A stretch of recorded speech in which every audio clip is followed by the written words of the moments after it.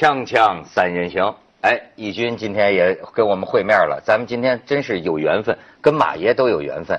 你知道今天赶巧了，马爷的生日啊，这个给马爷生日快乐祝寿祝寿啊！对这八十大寿的老人呐，这个 呃，还算不说年龄，不说年龄。不说年龄，你到底八十了，八十了，你80真八十？真八十了，真八十。我以为你九十了呢 没有没有，肯定没有，肯定没有。在家说，哎，80了这个呃，你我不行你真要公布年龄吗？呃可以公布年龄我不信你哪八十啊？嗯就是快八十了，那眼瞅着就八十。他的阅历到八十了，哎。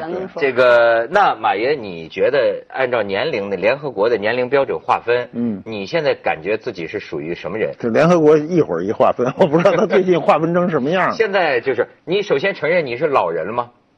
我这个还不大承认，我觉得他按生理指标哈，就是我认为一个人不能自由的离地，就算是老人了，就是你不能跳起来了。那哟，您现在蹦的还挺高，我我来定高，对，马爷 一直蹦的挺欢。我我我觉得真是这样，就是一个人不能自由的按照你主观意愿，你不能跳起来了，你肯定是老人了。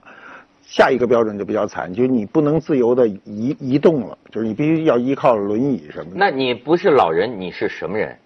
中年人，中年不算，你也有点不好意思。是老男人，哎，对，老男人，现在不有一词儿吗？老男人，就对，联合国关于老人呢有个细分，嗯其中最年轻的一档叫做年轻的老年人。就是这 玩这个游戏没有什么意思。那中间那个呢是不怎么年轻的老年人，哎对最后是实在太老的老年人。第三个叫长寿老人，这像一百岁。嗯，所以说呢，咱们就说从生啊，从马爷这这一生啊，是打半？生半生半生半生啊这生日日下半生 日老有制造词的意思 啊。对对对不是是要给一个人制造词。没有这个人呐，就没有马爷。你说，所以这个缘缘分之巧啊，也就在这几天呢，有一位高寿的老人过世了。嗯嗯马爷说是谁呢？是当年林巧稚大夫的这个高徒高徒，嗯就是马爷的接生婆。哦，叶惠芳大夫。哎，我主要为什么？到这个世界上，而且嗯活了一百零一岁。对，哎，你看他最早是协和的，对吧？对对协和的创立协和的那个洛克菲勒，嗯，这这几天去世，嗯也是活了一百零一岁。嗯，哎，我为什么要聊聊这位呃这个马爷这个接生婆呀？主要是他把照片给我一看呢，我没想到惊着长得惊艳着了。嗯你可以看看啊，这这这这位大夫，嗯，人人家是天生的。哎呦，哎呦，呃，你想一百年前这气质啊，你今天今天第一人没有美图秀秀啊，不用 P，也不用去整容，人就长成这样。我的接生婆四十岁那年接生的我，哎呦，您怎么长得跟人这么不一样？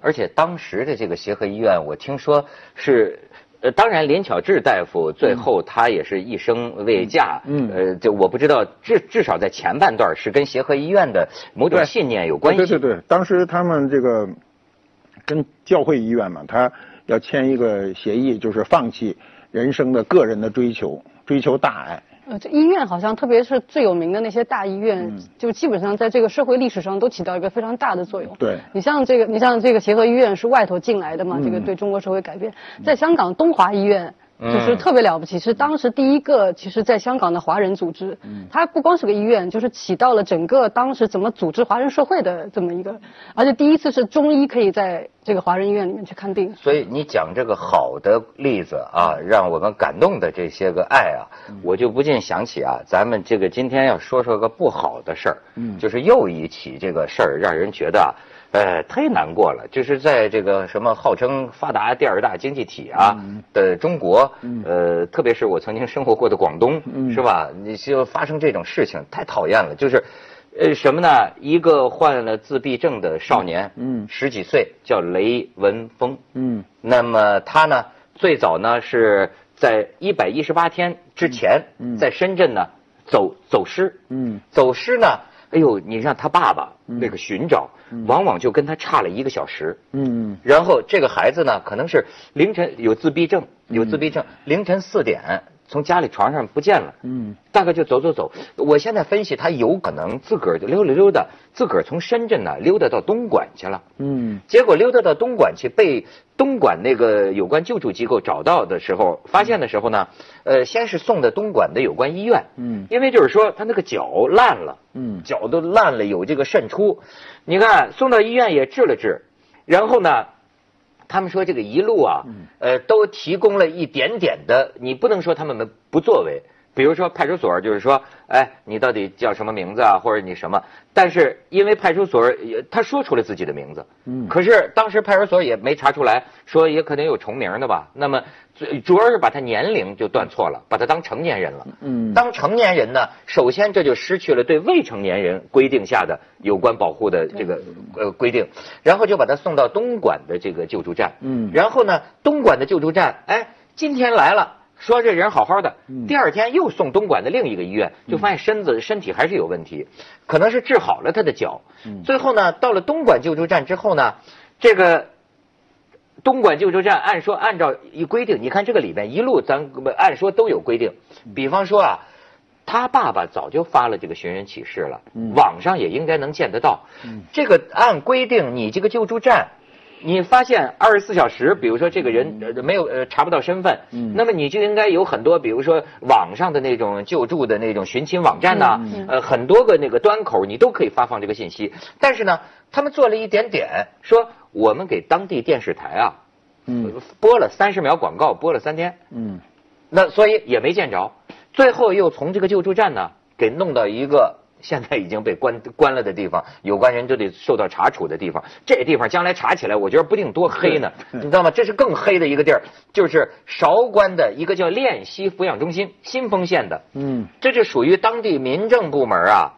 给你出人头补贴，所谓社会办这个托养，嗯。嗯，然后呢，这里边现在就说已经都转移了，这里边托养着七百多人，成年人和未成年人托养在一起，原本就是个看守所，那个水泥大炕，就是那个，这孩子就是最后是从这个托养中心被送到医院急救，然后呢，说什么病死的呢？伤寒。他们讲，医生就讲，伤寒很主要的一个病因是饮食物或者饮食饮用水不干净。嗯，而且呢，你看看他这个照片，你看这个照片，就是呃，这是发出的这个寻人启事，雷文峰，你看，然后这是他父亲在朋友圈里，哎，这个孩他父亲又干了一件糊涂事儿，就这孩子已经这个草草火化了，所以呢。更进一步的，这个孩子身体上到底遭受了什么待遇，我们也缺乏证据了。这就是那个抚养中心啊，练习抚养中心里边两道大铁门啊，呃，这个就是有关的登记表格了。你再往下看，你再往往下看，你再往下看，哎，就是他们呢给我找了一个什么呢？就是说咱不适合在电视上边放啊，就是说这个这个雷雷文峰啊，他这个尸体的这个。呃，照片，嗯，他说他爸一看见就崩溃了，说我这孩子一百三十多斤的体重，嗯，他最后死的时候这个骨瘦如柴，而且呢，呃，我没有证据，我只是目目测，我看这张照片，我个人得到的感觉啊，所以我觉得真是不应该火化，我怎么感觉好像有没有被虐待的痕迹？是你火不火化？其实我不敢肯定，但我看那个照片。有没有被虐待、被打的，甚至是这样的痕迹呢？这种事情呢，其实不是孤立。我们前几年都看到过类似的，呃，我记得好像也也有一个类似案例，那个家长就是就是不能看到这个遗体，因为遗体太惨不忍睹哈。我们现在这种救助机构呢，我觉得到目前为止都没有真正的纳入到这个国家正规的体系。你比如这种托管就有问题，这。这机构算什么呀？我看到新闻。民办呢？呃，不，对你民办谁来去监督他？他好像说，在一个不长的时间内，也不死了多少个人？对，就死亡那个速度太快。他有人监督，他有人监督。这个新丰县殡仪馆有数据。嗯，你说这玩意儿这是杀人的地儿啊？就是说，四十九天之内，嗯，有记可有记录可查的，从这个练习托养中心送来的死者是二十人。对，那有人说去年可能死的达上百人。所以你说要不要做这个尸检？那要如果能做到，当然你有更确凿的这个证据。那现在如果不能做，你从这数字一定看到肯肯定有问题。而且他现在你看到咱们就咱们国家就这样，要他要真出了事儿，大家都关注吧，你也不用拿出来证据，已经关了嘛。之前没出事儿的时候就就没人管而且其实他这个地方已经被警告过很多次，他不是没有人来监管，有警告过，一直知道他有问题，警告过很多次了，没有用。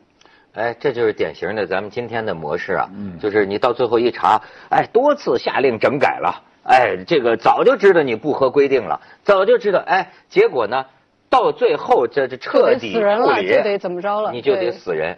所以我老是说那那我，就是我不明白，就这类的东西为什么要就是要民办的？那公那钱哪儿去了？哎，比如说政府力量不够这，好，咱们呃前些年呢就找这么一个，然后比如说民政局说呀，一个人头六百六十块钱，对啊。哎，那么你呢办这个就算是政府向社会购买服务，政府给了钱，本来有人说呢，这也是一个路子，但是他什么路子你靠谱这个才行啊。不是问题是他这个中心是盈利的吗？是非盈利啊，啊，他赚钱呐，赚钱才有问他理了，题啊。我。利们先说性质上它是盈利的吗？性性性质上是盈利啊，不是盈利不是。一两一两百万，有这样的传说。问。题就是出在像这样的机构本身不应该盈利，是然后你让它办成一个盈利的，然后钱又很少，六百六在今天肯定是很少的一个人的费用，那肯定会出问题。可是多了人，他人多了他就赚钱，而且是什么呢？它里头这个背后就很复杂了，还包括它里面这个产产权呐、这个股权怎么怎么样，里面就有一个就讲到是后面还是有官员的影子嘛。有对，有个官员他其实介入，就是这个制度当中的人，他才知道这个制度的漏洞在哪儿。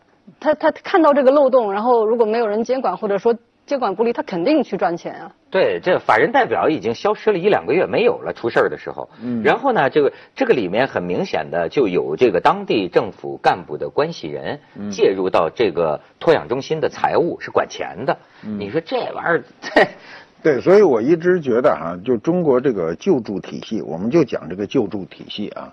中国这么多年的慈善呢，都是一种居高临下的态势，就是有钱人拿出钱，在危难时刻，比如地震、水灾、火灾、疾病等等情况下，有钱人拿钱，这个做一个姿态，比如上舞台上拿一超大个的支票，好像也不是怎么兑换的，这么晃两下子，然后呢，居高临下的去救助。这个救助呢，无助于整个社会的这个救助体系的完善，而且一出事儿，我们就做这种慈善晚会，开始呃捐钱。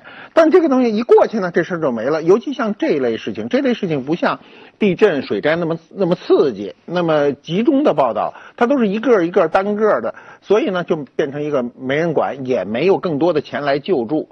那在这种情况下，你再弄出一个呃要要要要赚钱的人，那你肯定出事儿，那对百分之百像他这种。人，就是我们其实也很多企业讲到这样的人，就是他们属于社会上的边缘人，他本身他有这个自闭症，或者有的人是有这种这个智障或者怎么样，他本身就不是一个完全能够去行动的人。嗯那么这样的人，社会怎么对待他们？他们你想。这个这个社会上应该有很多张网，这张张网能够接住不一样的这个群体。那么最它这个最后一张网，是我们现在看到是像这样的，是个这个破网是个破网。嗯哎，其实一个社会怎么样救助边缘人，才是这个社会的机制是不是真的是完善？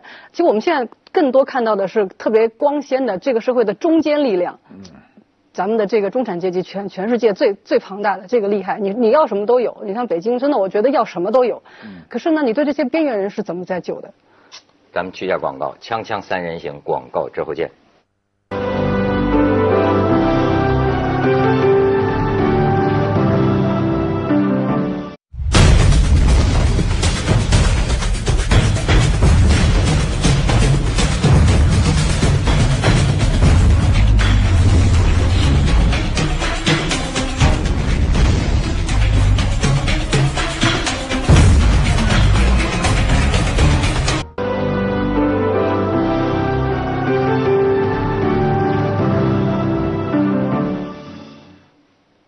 所以我觉得这个啊，也应该向这个《新京报》致敬。嗯，你比如说现在这个事儿啊，有有人也写这个评论。这几年我就注意到了，媒体的情况在发生变化。嗯，你看美国好像呃前一阵儿有个电影讲的就是这个，就是说啊，现在过去比如说这个哥伦比亚广播公司或者这种大的电视台，美国这种呃重要的新闻，像美国六十分钟，它就是专门有一个纪录片的这个团队啊，深入现场去拍。但是现在今天这社会，一个微信公众号，记者啊都辞了职写微信公众号去了。嗯。但是呢，过去报社的这种深度调查严重萎缩。现在你比如说，我记得前些年中国这个矿难，嗯，包括那个《新京报》不不，包括那个《南方都市报》当年这个孙志刚事件，嗯，你知道这玩意儿你不能拿报社赚钱来衡量，他有的时候你这种权威的新闻媒体就得干，就是说他需要一定的投入啊，呃，去做一个不是这个人云亦云的、道听途说的。呃，哗众取宠的，而是真的去深入到现场，做一个深度调查报道。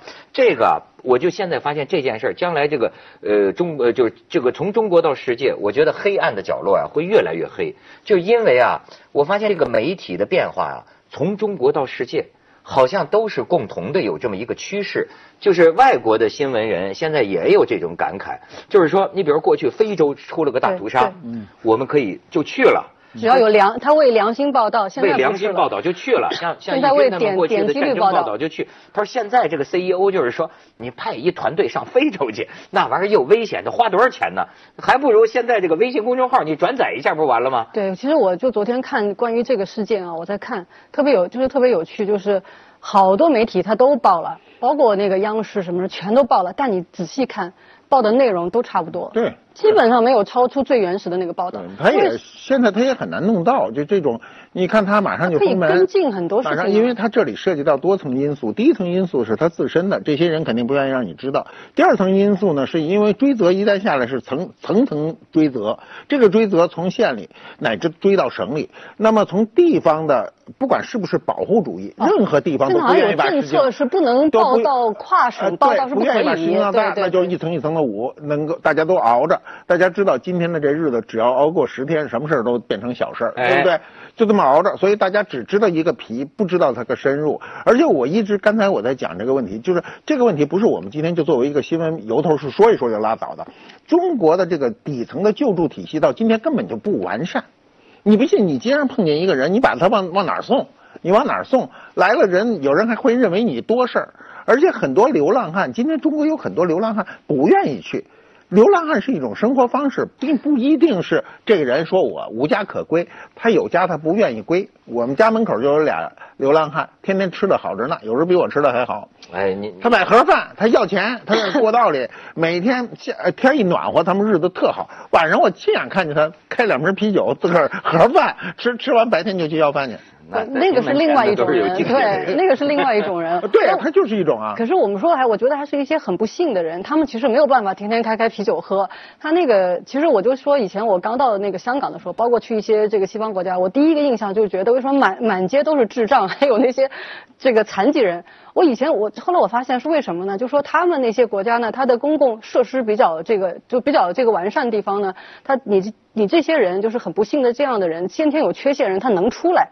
咱们好多地方其实他是没办法出来，你这个残疾人这个通道啊，或者说你智障的人，就你有没有人跟着，这等等，他那个出不来，而且全社会也不太耐烦。就你比如说，就你在香港啊，你看着那个那个坐就坐轮椅的人，他要坐这个公共汽车，这司机得停下来给他把一个什么，就是一个平台啊，就是像那个台阶给打开，全车人等着，没有人敢说什么的。那咱们这儿就不行，就是特就是特不耐烦。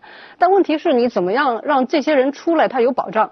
其实，但我也在想，什么才是一个最完美的保障制度？你其实也不是专光是中国的问题。你比如说，你在美国，呃，那个 Obama Care，他就想保护更多的人呢。那在美国，好多人看不起病啊，好多人也是这个流浪汉，也就这个莫名其妙死掉，那怎么办？他就搞大政府，让你们每个人都要去强制你们去保险。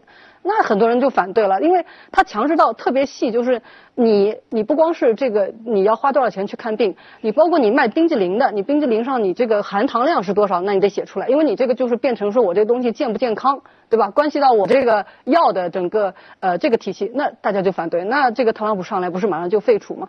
那他们不要这个大政府，那很多人就羡慕说北欧，你说那个瑞典什么，他们哎这个特别好，说这个大家都有保障，可人家交的税多高啊？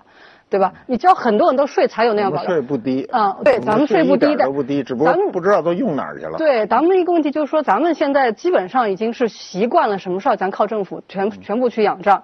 那你现在问这些骂这个这个托养就是托养中心的人，你那你就那你说咱们再多交点税或者怎么样，让这些人都有保障行吗？我估计大家都会说，那关我什么事儿？就你真要他交钱了，可能他没有这个心理习惯，说这个社会是大家去。去帮助的。哎，但是你要说这个政府啊，我觉得政府注意什么，不注意什么，他容易忽略什么。对，你从很多你得承认，没有任何一个政府能够管到所有的事儿，你得依靠一些这个社会力量。对啊，有人就说，本来说这是好事儿，就是说，呃，政府拿出一部分钱向社会购买服务，哎，这样那个形成多层次的这种救助体系，对吧？但是我现在老觉得啊，就是你比如现在就是说，很多时候在咱们讲法治。法治是最重要的，对吧？但是呢，我现在也往往看啊，我看人老看用心。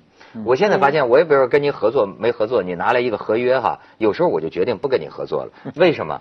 不在于你的这些条文，而在于啊，这个东西啊，你要看出对方的用心。用心他如果用心不良，就是跟你啊不是心往一处想，这事儿我告诉你，条文上规定上，比如说他们就我给你举个例子，东莞市政府四百二十万。他要说，人家就《新京报》这讲了嘛，东莞市政府四百二十万做流浪者服务，但是为什么救不了一个自闭症少年？因为你就知道他用心在哪儿呢？他这四百二十万，比如给这个救助站，你看底下签的这个工作任务都是什么？你啊要在那个主要干道。红绿灯显要的这种城市面子、城市面貌的地方，发现这些个这个流浪人员、乞讨人员，你要驱赶、驱离。哦，是做这？你明白吗？就是说，他以救助的这个，实际上他说，我这城市你不能有这些人乱七八糟的在这儿给我影响市容。呃，不是，我告诉你啊，这事儿啊，刚才都已经说说政府不能管得太细啊，不能管。这是我们今天的政府，我们过去的政府，因为我走过来，我都八十岁了嘛，我走过来的人，我知道哈。我们在呃七六年以前，中国是看不到这个现象的。每个这类的人全都有基本的救助，一定比今天好。真的吗？那当然。那张著名的照片，那个上访者，你怎么出来的？当当时你在农村，就我在农村待过嘛，你看到的任何一个流浪汉，马上就有人管，不可能他在那儿流浪。你当时在七六年以前的一个人的流浪是不可能的。你每个人都就就是你是个傻，就是智力有缺陷的人，你也是有户口的。那时候的人反而比今天多一份爱心，我是经过，我是看过。是体制的管还是个人见到？就是个人和体制都会有人管，绝对没有一个人能饿死在路边，不可能有这事儿。那个时候的人跟今天的人状态是不一样。今天第一反第一反应，包括我自己哈，第一反应就怕沾上事儿，因为我沾上过事儿。我看一个人摔的摔的满脸花，我上去一，只要拉上他，后面的事儿就全都说不清楚。因为所有人只要他只说是我把他碰摔的，那所有人都认为是我碰的。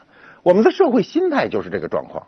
哎，你不最近有一个什么 CBA 的一个篮球队员不是去救助吗？救助完了以后呢，那人马上就说是你撞的我。然后幸亏有一个摄像，要没一个摄像根本就说不清楚，谁也说不清楚这个事儿。所以整个社会心态变得非常的坏。这些。就是流浪，或者说这个就是这种你说有缺陷的啊，就是有智障的，尤其现在这种呃自闭症什么就越来越多，也不知道为什么原因越来越多。这一部分数字庞大，社会有点就是有点支撑不住。所以你这个制度你再怎么建立，想让这些人都得到良好的救助没有用。我们就说刚才一开始说的这个叶慧芳大夫的一句话，我看到一个报道，那句话让我深受感动。他怎么说呢？他说。再好的医术也抵不上爱心。嗯，这说的哎，您说的太对了。这就是这个事儿。你再好的制度，你抵不住一个社会的爱心。我觉得，如果社会没有爱心，全社会丧失爱心，这个事儿什么制度？就是你说的，签上条约也白签。对，没有用。他送到。先去点广告，锵锵三人行广告之后见。